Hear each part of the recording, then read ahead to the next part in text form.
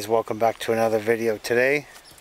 Nate and I are going deer hunting for the first time. This is my first time in a couple years. We've got the blind set up. You saw that in the video last week.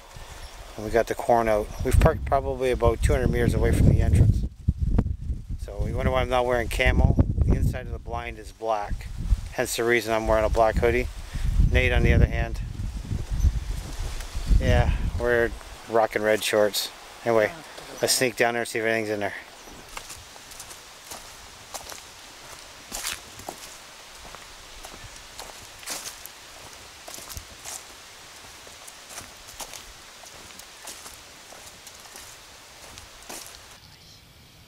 Guys, Nate and I are trying to stay quiet. The mosquitoes are brutal. Uh, sorry if you can't hear me, but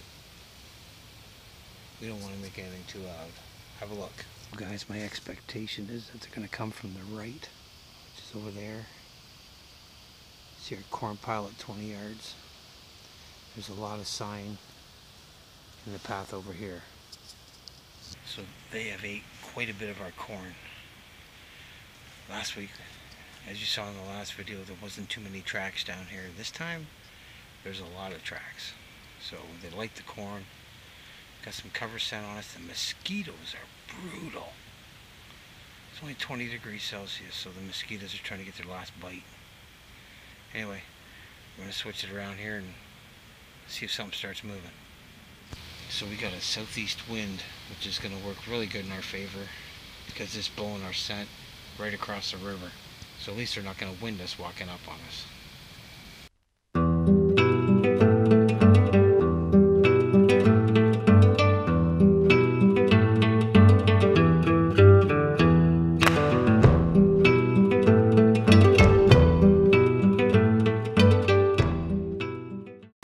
Alright guys, it's obviously the next day. Let me tell you what happened yesterday. Nothing. We sat and we sat and we sat. It was actually pretty cool. Me and Nate had a pretty good conversation. But it was windy. And I mean, it was pretty windy. So we didn't hear anything. I didn't see anything. Nate, on the other hand, for at least an hour, swore up and down that he was watching a deer that was about 30 yards to our right. I looked numerous times. I think he got a case of seeing something that wasn't there. But anyways, we sat there and waited and waited. And I knew there was a storm coming. I seen it on the forecast earlier, but we were hoping to get to dark. Uh, just before dark, the skies opened up and it rained, rained, rained. And I had to get all my camera equipment probably about 500 meters back to my truck. So we just packed up and hauled out with no outro, no nothing. Right now, I got a whole bunch of wood scattered out on the deck ready to make some calls. Jen just tells me we're going to get pumpkins.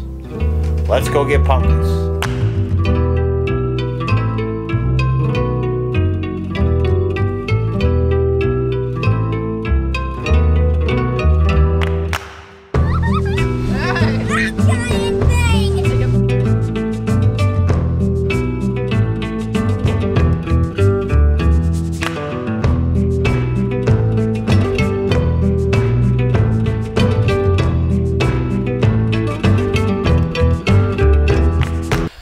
Alright guys, well day two out here at the farm. I cannot believe I forgot my tripod at home. I didn't actually film an outro for day one when Nate and I rode here. The skies opened up and we got wet. We had to hustle back. Anyway, I'm flying solo today. Nate couldn't make it, so we're gonna go down and see what's happening.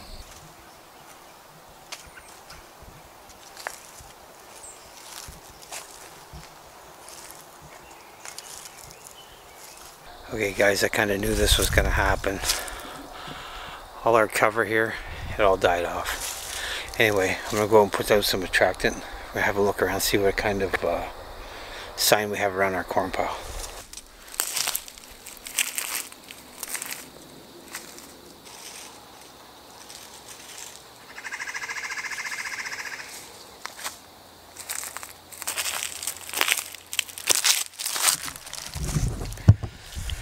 Alright guys, so you remember when sorry about that. Remember when Nate and I were out here, we put out the corn, we put up the blind. Found a few old small tracks, nothing big. But have a look at this. The size of that one. That's 15 feet in front of my hide. Okay guys, so I'm in a bit of a dilemma. Like I said, I didn't bring my tripod. All I have is the small tripod that I vlog with. Or I'm gonna have to set it outside the blind and reach out with my hand to turn it on when a deer comes. Either way, we'll see if we can make it work.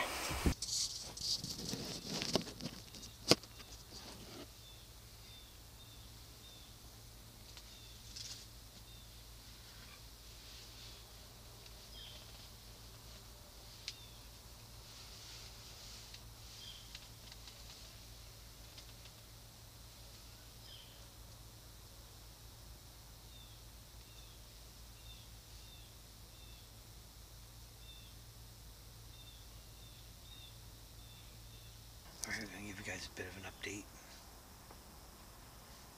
Nothing. I shouldn't say nothing. That squirrel sounded like a dump truck coming through the bush.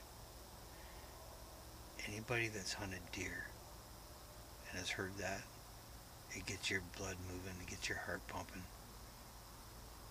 That's a big letdown when you see it's a squirrel. But Anyway, I can hear some thrashing probably about 300 meters to my right actually right behind you.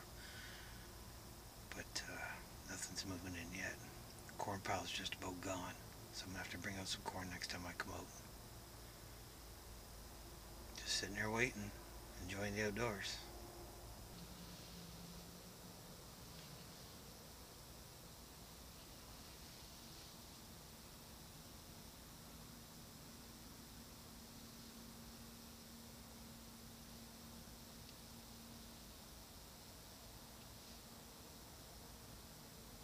Alright guys, it is pretty much dark.